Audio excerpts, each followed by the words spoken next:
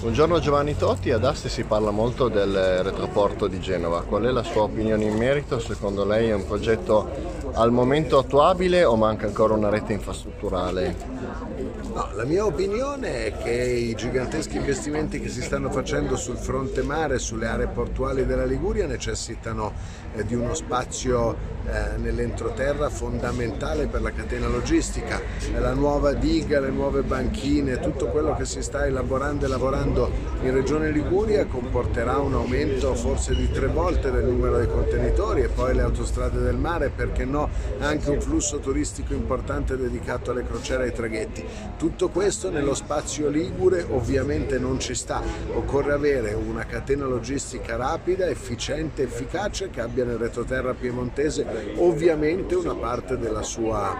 della sua catena. Per questo Asti, per questo Alessandra, per questo Rivalta, per questo tutta la fascia eh, vicino al confine sono, sono le aree fondamentali per questo per questo sviluppo e a questo stiamo lavorando, ne abbiamo parlato all'Università d'Alessandria non molto tempo fa, ne parleremo oggi, se ne parla in questa campagna elettorale che ovviamente investe i temi fondamentali della eh, politica di crescita eh, del Paese, ne parliamo e ne parleremo con il Presidente Cirio, cui siamo legati da una cabina di regia insieme alla Lombardia che tornerà a riunirsi credo già nelle prossime settimane. Eh, la legge Genova, quella che fu voluta per il Ponte Morandi crollato, eh, aiuta a individuare delle aree e le eh, le volontà ci sono sia dei porti sia delle amministrazioni, occorre muoversi e lavorare perché tutto questo diventi realtà nei tempi rapidi del PNRR. Senta, il sindaco di Asti Maurizio Rasero ha detto che nei cinque anni di amministrazione è mancato l'apporto di moderati alla sua coalizione.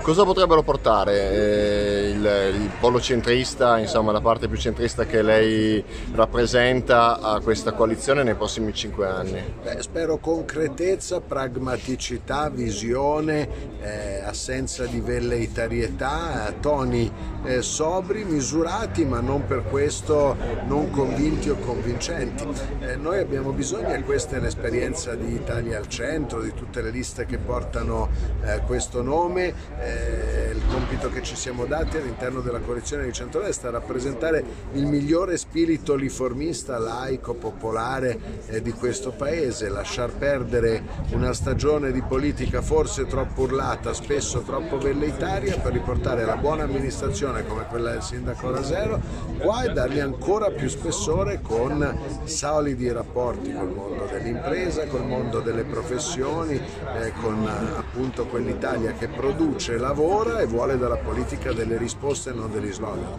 Adesso c'è un candidato di azione, lei lo vedrebbe bene in una coalizione allargata al centro? Ma guardi, io guardo con grande simpatia a Carlo Calenda che è un ragazzo eh, molto preparato, ha fatto bene il ministro ed è spesso su posizioni indipendenti e anche eh, originali. È evidente che non dipende da noi, dipende da loro. Dovranno prima o dopo scegliere gli amici d'azione se ridurre come talvolta appare la loro esperienza politica a un'opera di testimonianza eh, tra gli schieramenti, un ruolo da grillo parlante talvolta utile ma spesso poco incisivo, oppure eh, in qualche modo mettere i piedi nel piatto di quella che è la vera politica del paese, quella fatta di schieramenti, quella fatta di governo, quella fatta di mediazioni, di accordi eh, per, eh, per poi scegliere e governare che è l'essenza stessa della politica. Azione tante buone idee, spesso posizioni condivise e talvolta la vedo in preda a pulsioni un po' isolazioniste